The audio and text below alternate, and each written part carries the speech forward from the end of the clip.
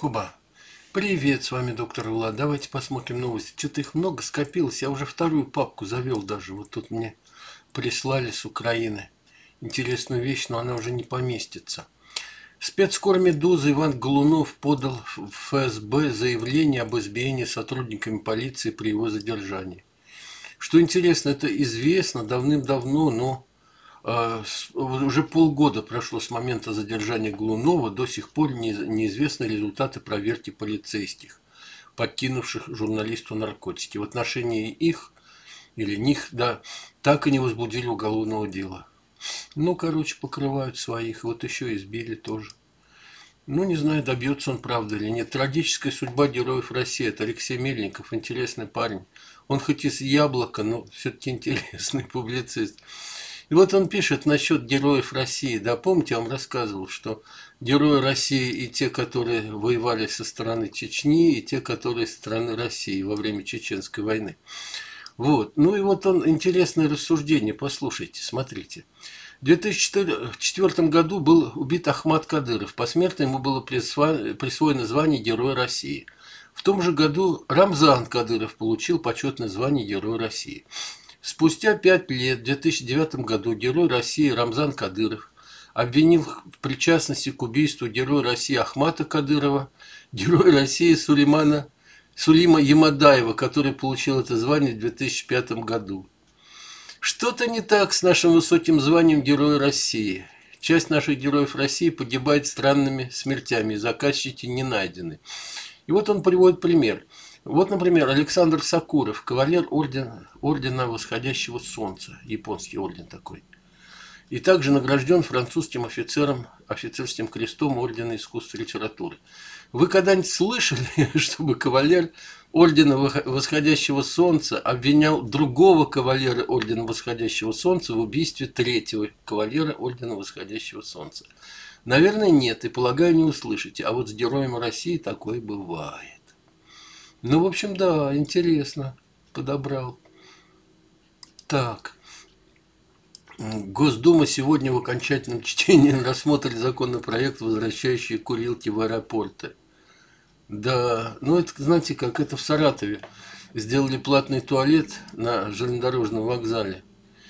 И в ту же ночь весь вокзал был вокруг желтый, потому что никто не ходил в туалет платный. Вот, и, значит, весь вокзал, ну, так как раз зимой был снег, и снег стал желтым, ну, сразу сделали опять бесплатный. Так, саратовцы проголосовали, говорят ногами, а тут они другим местом проголосовали. Так, что еще? На авианесущем крейсере «Адмирал Кузнецов» произошел пожар. Пожарчик, пожарчик. Пострадавшие есть, погибших нет, слава тебе Господи. Один даже черепно-мозговая, ух ты. Остальные отравились продуктами горения трое пропали без вести. Как же они пропали? Да, там, причем, знаете что, этот 600 квадратных метров площадь пожара, ну это, это, много.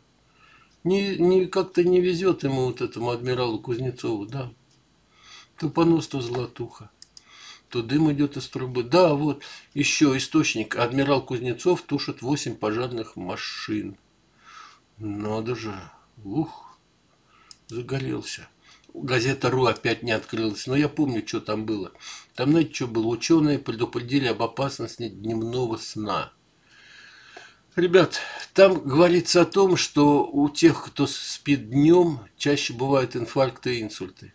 По-моему, это полная чушь. Я вам объясню почему. Скорее всего, изначально те, у кого сердечко слабое, не выдерживают и днем засыпают. Вот поэтому у них бывают не от дневного сна, а от того, что изначально они уже были с какими-то проблемами сердечными. Вот так, тут перепутано. Это, знаете, это, это можно сказать так, что все больные раком когда-либо ели соленые огурцы, да? Так оно? Так.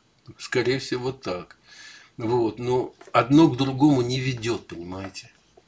Ладно, едем дальше. Газета «Ру» так и не открылась.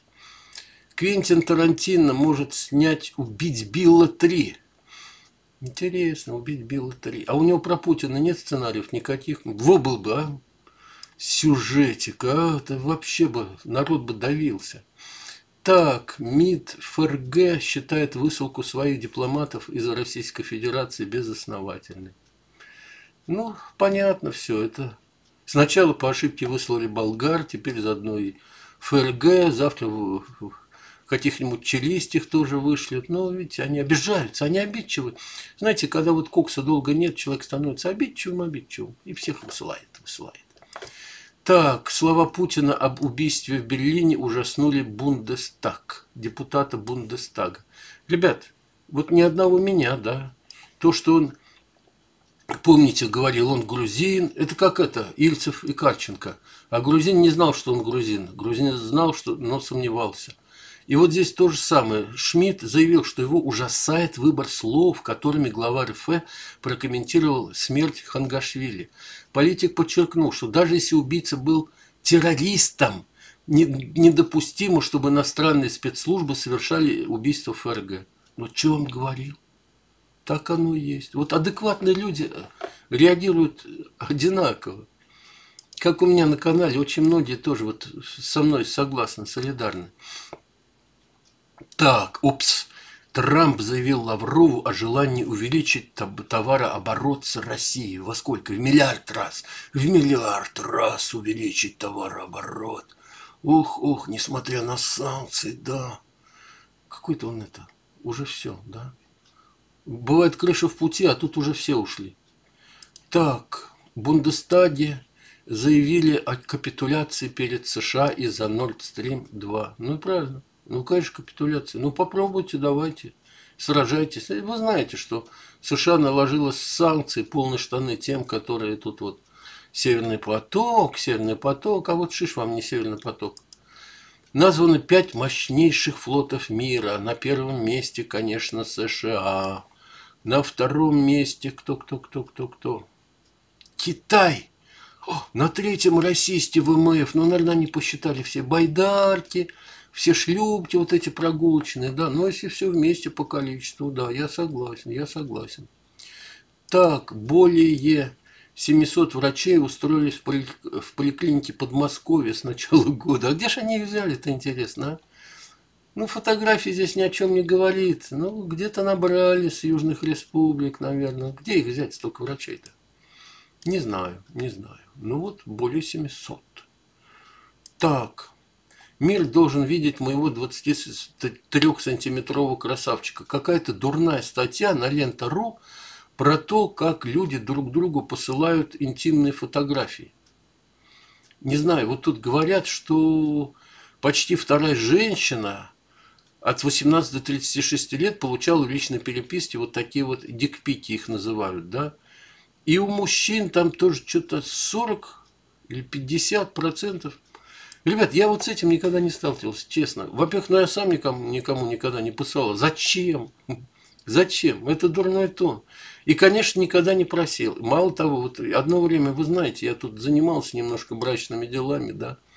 Никогда, даже намека не было, чтобы вот что-то такое прислать интимное. По-моему, они какие-то чокнутые все. Правильно говорю? В Бурятии. Ой, блин. Двухлетнего ребенка насмерть продавила телевизор. Мама с ним танцевала. Задели это самый тяжелый кинескопный телевизор. Последний упал на голову мальчика. Ну вот где, где у мамы была голова, а где у папы, который... Фу. Да, Россия вот первенство берет, вот что люди в России умирают как угодно. Вот как угодно. Тогда я ему говорил, пацан выполз на мороз, тут телевизором, да, блин, все. В храме Христа Спасителя похоронили Юлия Лужкова. Ну, то есть была это траурная церемония. Интересно, территория вокруг храма оцеплена. Ух ты, в ближайших магазинах не продаются помидоры и тухлые яйца. Ну и так далее. Это я уже от себя, ребят. Ну, мне так кажется. Оцепили все. Соколов захотел выплатить компенсацию семье убитой им аспирантки. А знаете, каким образом? По его словам, это будут деньги с продажи книги. Это чтобы его книгу покупали, а он ее еще не написал, 16 страниц. Вообще какая-то чушь. Чушь. В Софеде поддержали призыв главы ОМВ ответить на санкции США. Кто такой ОМВ-то? Хы. А, австрийский нефтегазовый концерт, с которым Путин танцевал, что ли? Принять меры в ответ на санкции США против газопровода. Ну все, Обаме нужно запретить ездить в Подмосковье, собирать грибы. Все, больше они ничего не могут. Письков заявил, что запрета шутить про Путина на телевидении нет. Ха-ха, кто бы попробовал, да. Ой-ой, не могу, ой, рассмешил Песков. Вот его надо в президент, он такой смешной. Названы предпочтения россиян в порно в 2019 году. Зачем вот эти... Причем московский комсомолец пишет. Московский комсомолец. Какие предпочтения? Путина посмотреть. Что еще-то? Слухи о свадьбе, ну как раз вот насчет порно, слухи о свадьбе прокомментировала возлюбленная Петросяна. Слушайте, она это, она хамка. За минувшие трое суток вы все проявили себя как грязные стервятники. Ну и... Ёшкин свет. И зачем она? Бруханова какая-то. Ой, она противная. У меня одна была. Вторая или третья тоже такая. В Кремле прокомментировали прекращение показа сериала «Слуга народа». ой А он что сказал? Опять Песков, да? Ну, он во все дырки затычка. Заявил, что администрация президента не имеет отношения к решению телеканала ТНТ прекратить показ сериала. Они не имеют права вмешиваться в их редакционную политику. А почему все время вмешиваются тогда, если не имеют права? Странно, да? Убрали, убрали. Тут у меня дальше объяснение будет, кстати. Нормальное объяснение. Спасенный в малыш проходит четвертый курс реабилитации. Помните, пацанчика назвали? Ну, вот в Магнитогорске, когда дом-то там разрушился весь из-за взрыва. Да, его нашли обмороженного, обожженного под 20-тонной какой-то бетонной плитой. И он уже не те. Он уже сделал первые шаги. И, в общем, там все-все-все. Но одного-то можно вылечить а все остальные 39 погибших, елы-палы. Минсельхоз США повысил прогноз сбора пшеницы в России в этом году. О, зря это они повышают прогноз. Я помню, в Саратове, в каком же это году был, я в институте учился, ну, приблизительно 77-й такой. Вот, приезжал Брежнев в Саратов, и ему тогда был, значит, местный местный царь пообещал, что мы все, мы пшеницы сдадим в этом году там в два раза больше. Ну и что из этого получилось? Да, собрали все до последнего колоска, хранить-то негде. И все это зерно хранилось в таких условиях, что загоралось. Ну, знаете, зерно загорается, когда неправильно хранится, влага попала там и так далее. И, в общем, там был кошмар. Собрали-то больше, да, действительно больше собрали, а сдали потом Нечего говорить, там элеваторы все испортились. Да, лучше не надо много. Так, страна, отравленной трубой. Дмитрий Гудков опять пишет. Ну вот опять насчет мусора. Да, законопроект одобрен, что сжигание мусора считать его переработкой. И вот смотрите, дальше он, документ фактически отменяет любую другую форму обращения с мусором, кроме сжигания, потому что зачем еще что-то, если можно сжечь? Возиться с переработкой дорого и трудно, искать современные технологии, это делиться прибылью с другими людьми, а тут все свои.